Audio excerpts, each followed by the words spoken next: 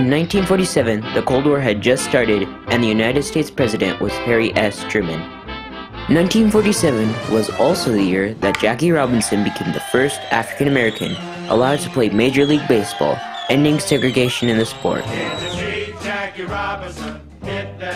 This event helped to set a change in the culture of America. Also happening in 1947 was another big event that's often forgotten. In 1947, Mendez versus Westminster challenged school segregation, and the decision in the case overturned a law that said segregation was okay. To begin this story, let me provide a little background. In the late 1920s, anti-Mexican sentiment grew as the Great Depression began. As the stock market crashed and unemployment grew, Anglo-Americans accused Mexicans and other foreigners of taking their jobs. Mexican Americans were discouraged and in many cases not allowed from accepting any assistance. As fears about jobs and the economy spread, the United States government removed up to 2 million people of Mexican descent from the country, up to 60% of whom were American citizens. The impact on Spanish-speaking communities was devastating. Some light-skinned Mexican Americans attempted to pass themselves off as Spanish. In other words, being from Spain and not Mexican. They did this in an attempt to stay in the country and avoid being deported. People with disabilities and illnesses were removed from hospitals and dropped at the border. These deportations were referred to as repatriations. However, the Mexican Americans being removed were not leaving voluntarily. When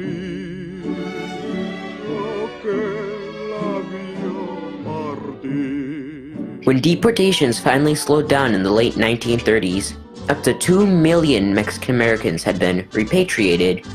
This is only an estimate because the exact number is nearly impossible to quantify. About one third of the Los Angeles Mexican population was forced to leave the country, as well as a third of the Texas Mexican population. Although both the state of California and the city of Los Angeles later apologized for repatriation, the effect on the Mexican American community was devastating in many ways. Another event that is not often discussed is school segregation in the Latino community. Unlike the South, which had laws keeping African American children from white schools, segregation was not in the laws of the southwestern United States. Nevertheless, Latino people were excluded from restaurants, movie theaters, and schools. Latino students were expected to attend separate Mexican schools throughout the Southwest beginning in the 1870s. At first, the schools were set up to serve children of Spanish-speaking laborers at rural ranches. Soon, they spread to cities as well. So back to 1947. It was at this time that Gonzalo and Felicitas Mendez sent their children, Gonzalo, Geronimo, and Sylvia, with their aunt to get enrolled in school.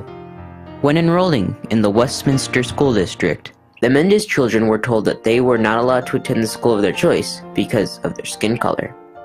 This was so even though the aunt's children were allowed to go to the school. They were allowed because they had lighter skin. After this incident, Gonzalo and Felicitas were upset. As expected, and with no way to reach compromise, they were forced to fight. Most families at this point would not be able to fight further, but not the Mendez family. The Mendez family were well-off farmers that could afford to have a legal battle, and they were ready for a fight. After a long legal battle, Westminster tried to appease the Mendez family by only allowing their children to go to whatever school they wanted, but not other Latino children.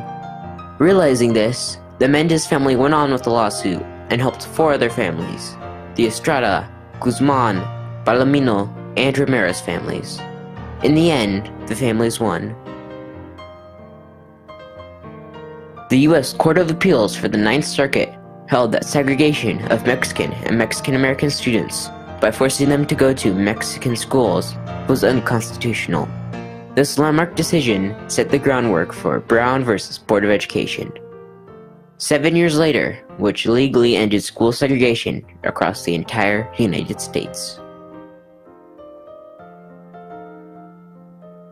Sylvia Mendez, One of the Mendez children involved in this case has kept fighting to ensure that all children have access to a quality education. She has made sure that people do not forget this story. She has joined the fight against de facto segregation, which is still around today. This elementary school in Los Angeles is 95% Latino. This is one of many in the Los Angeles area. For example, there is Rowan Avenue Elementary in East LA that is 100% Latino.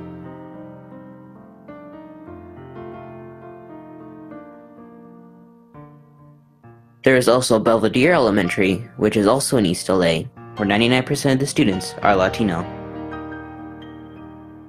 These demographics are very similar to the Mexican schools that were around in 1947. As you can see, there's still work to be done. As mentioned earlier, Sylvia Mendez is making sure that her family's fight is not forgotten. This high school in Boyle Heights, California is named after her parents, Gonzalo and Felicitas Mendez. This school in Santa Ana, California also bears their name. There are others across the country as well. For her work, Sylvia won a Presidential Medal of Freedom that's presented to her by President Barack Obama. For Sylvia Mendez, a lifelong quest for equality began when she was just eight years old. Outraged that their daughter had to attend a segregated school, Sylvia's parents linked arms with other Latino families to fight injustice in a California federal court, a case that would pave the way for Brown versus Board of Education. Sylvia Mendez.